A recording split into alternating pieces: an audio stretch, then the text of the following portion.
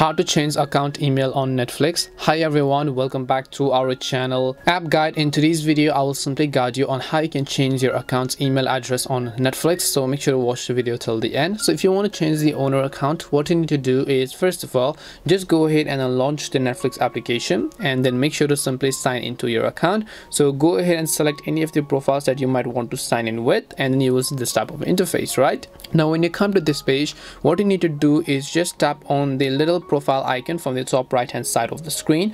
Once you tap on the profile icon you'll be able to see all these sorts of information. And then here you'll find the option called account. All you have to do is just tap on the account option. Once you tap on the account option on this specific page you will find the section that says change account email. So all you have to do is just tap on the change account email button. Before you try to change the account email you have to confirm two things which is either you need to confirm your current email address which in most cases you might have lost it or else you could simply confirm your payment details which is your visa card your credit or debit card whatever else you've entered. Once you've confirmed either of these your email address will be successfully changed. This is how you can change your netflix email address. We hope the video was really helpful and if it did help you make sure to leave a like and subscribe to the channel. If you have any questions though feel free to leave them down. Thank you very much for watching and see you in the next video